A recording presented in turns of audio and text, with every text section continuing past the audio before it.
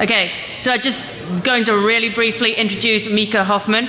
Um, his web handle is WebBreacher, and if you look online, like I've been looking at recently, um, he calls himself both a hiker and a hacker. I've also learned that he, he broke his fifth metatarsal playing volleyball um, in March of this year. Um, this is going to be a live demo of yoga, and without further ado, I'll hand over to Micah to introduce yoga. Thank you very much. Hi, everybody. Thank you. All right. Uh, first off, my name is Micah. Not to call you out in front of everybody, but uh, I'm very happy to be here, and thank you for, so much for spending some time with me. Um, it's going to be a demo, but I also want to challenge you because what I'm finding in the OSINT world is that um, we, are getting caught up in the wheel of suck, and I want to break out of that. All right? So, before we do that, there's the obligatory who the heck is this guy? Um, I am an OSINTer, an open source person. I am a SANS instructor. I wrote a course on open source intelligence for SANS. Um, and I just love anything and everything OSINT. And with that, that said, I have a question. Anybody here know how to cook? Like, really cook or bake, right? Yeah, okay, some hands went up. Now, when you learned how to cook or bake, did you start out by learning every single fruit or vegetable, every single piece of meat, every single type of flour? No! You learned what you needed to do to get that recipe made. And then you worked according to that recipe in order to create the product you were going to then eat. And yet, in OSINT now, we are caught in this cycle of resource after resource, cataloging these wonderful URLs that can help us track ships or find things on the dark web. And so we have these lists. You, have probably seen some of them. This is Technisette's website. Great. Oh, by the way, this talk is, uh, these slides are already posted on my GitHub. You're welcome to take pictures if you want, but the slides are already on GitHub and I'll give you that URL at the end, okay? Um, so Technisette has an amazing website out there in the Netherlands, start.me page, and it has all of these wonderful resources that are categorized according to how she wanted to categorize them. It's great. And in fact, uh, Bruno Mortier, um, he did the same thing, but he ha- has even more links. In fact, he has links to sites that have more links. Do you see where I'm going here? Because it's not only that, we've got OSINT Framework by Justin Nordine, good buddy of mine he's got a lot of links. And I think we have a problem. That problem is, is we're stuck describing every single type of ingredient instead of understanding how to use those ingredients to create a wonderful OSINT assessment. And so what I did was I looked at each one of those, those sites, each one of those Start Me pages, OSINT Framework, and some other sites. And what I found is that we've got hundreds and thousands of links out there that people are categorizing the way they want, that are duplicative, and it's confusing. In fact, we have over 6,000 links across these sites. Now, you think about this. Have you ever done an OSINT assessment or, or pen test, recon, or stalked a, uh, done some research on a friend or something like that? Yeah. Knowing where to get that information is great, but being overwhelmed by the ingredients, that's overwhelming. So, what I challenge you to do is figure out a way to understand how these ingredients, how these URLs, how this flight tracker, and how that Bitcoin uh, tracking app, how those things fit together. And in fact, the way I was thinking of it is, you know, if you use if this then that, you know, it, it's kind of just like that. It's like if I have this information, how, what do I do with it? You know, how, how do I get that? And what is that? And we need to do it at a level that we can understand and work through. It's kind of a methodology, but at an abstracted level. So without further ado, I present to you yoga. Yoga is your OSINT graphical analyzer. It's on the internet right now. Mobile devices work really well with this. And all it is is a web page with some JavaScript in it. That's it. But the thing about, about yoga is, is I don't go and tell you do a DuckDuckGo search. I don't tell you to go ahead and do a WHOIS on this site.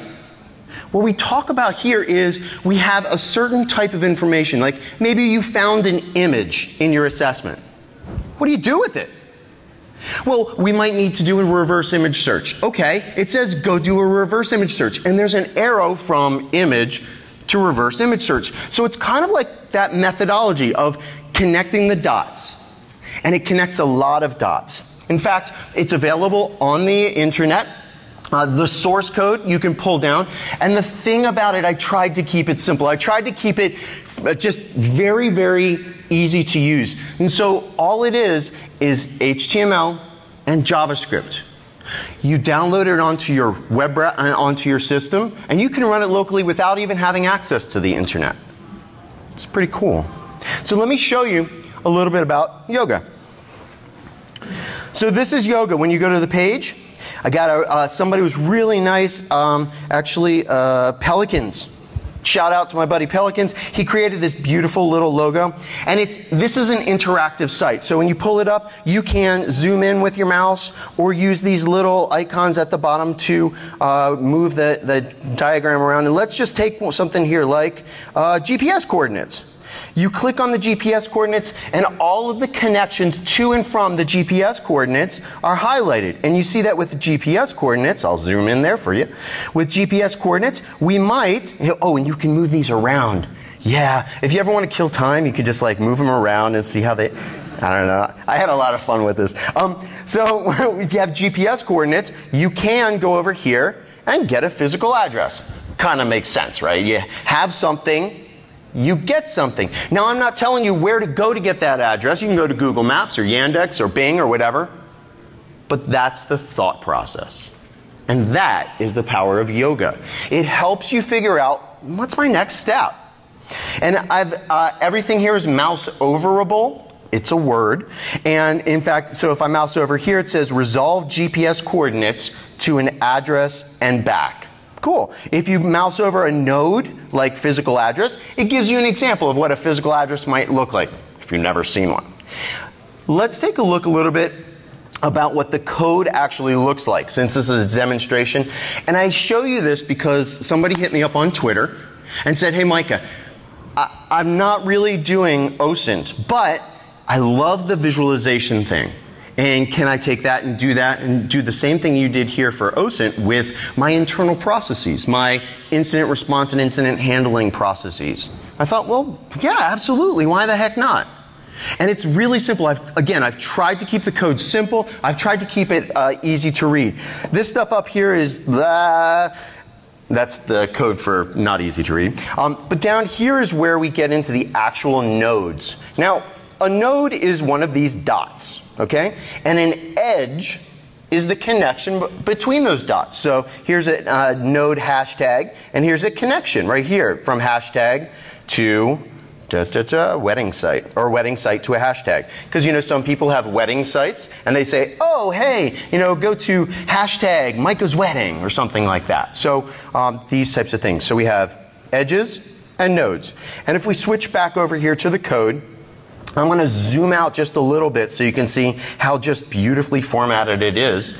Um, I've separated it out into different types of code. So the group one stuff, the blue nodes are facts and data like physical addresses, audio files, business names and such like that. And then we have other types of nodes. And as you go down the list, we take those nodes and we make the edges and connect things together. You can do this too. You can download this and then add to it whatever you want to do in your process. And then you have a living document that you can use. So if we scroll down, scroll down, scroll down, scroll down, da, da, down here we have the edges. Back on line 83. I'm going to zoom out just so you can see that if you do like it at normal resolution, um, you can see up here we've got these. I mean, it's nicely, nicely formatted there. Um, and all it is is it says, hey, go from, don't, let's see, go from archive site search, wait, here we go, from business name to HTTPS certs, right? Because one of the things we do is if you have a business name like Google, Google probably has HTTPS certs. In those HTTPS certs, we might have email addresses, people's names, and other internal information. So we need to do that search. So I'm connecting one node to another node, and I'm putting an arrow to, and then inside here is the pop-up information. And you could take this document, download it, customize it however you want, and use it in your internal organization. And so that's yoga. I mean, that's, that's really the heart of it. And, and as I was doing this, um, as I was making this application, and I thought, well, this is really cool. Now we have the, the, the I have this, and I, I can look for this, or I can look for this, or I can look for this. I thought, well, now we've got it putting together. And now we have another problem, right? Because if you remember back to all of these links, we've essentially created this wonderful Tower of Babel for ourselves.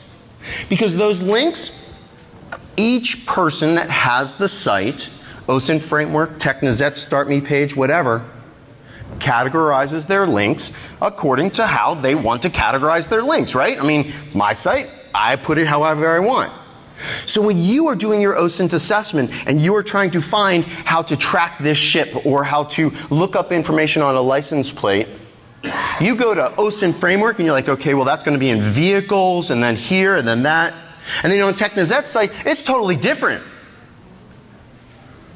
That's a problem.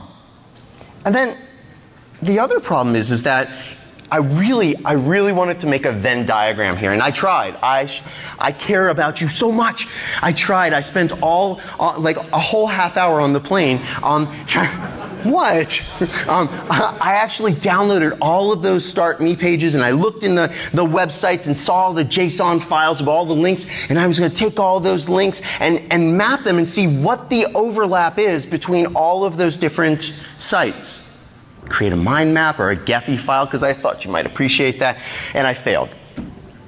But as a thought experiment, if you have hundreds and hundreds and hundreds of these links, these URLs, I guarantee you there's a huge amount of overlap. And so, what we really need now, now that we have that I have this, I get this, and now we understand that all of these things, that making lists of resources is good, but it's also complicated.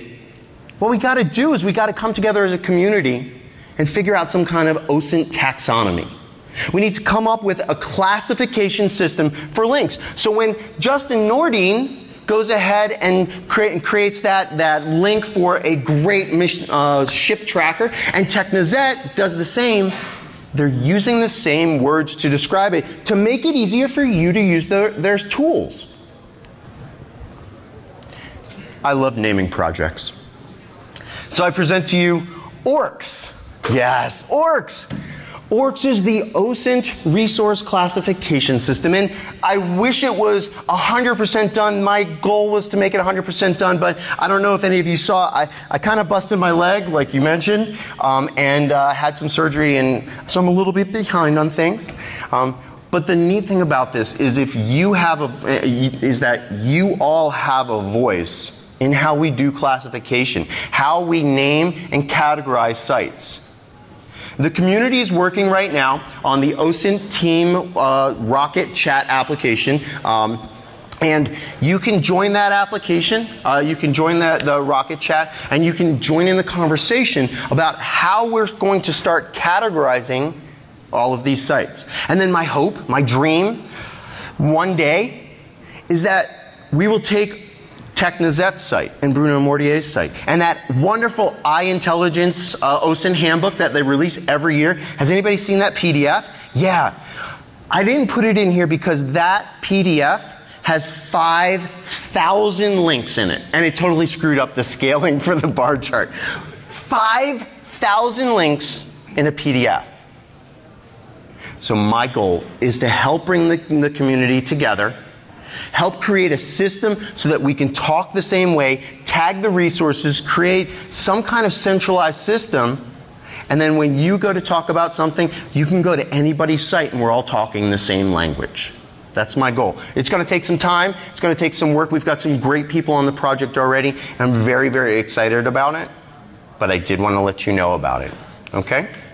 Now, that is the end of my talk. So I, not, I'm, I know I sped it up a little because I know we're behind. Um, that's the end of my talk. Here's my contact information. Again, there's where the presentations are, and I put all of my presentations up there, so tomorrow's presentation's up there too. Um, also, there's a link to the SANS uh, class that I'm teaching, the SEC 487, uh, which is six days of open source intelligence gathering, and I love to talk to anybody about that. Since we have a little bit of time, are there any questions that you have for me? Course not. It's just the website, right? All right. Well, thank you for your time, everybody. I appreciate it.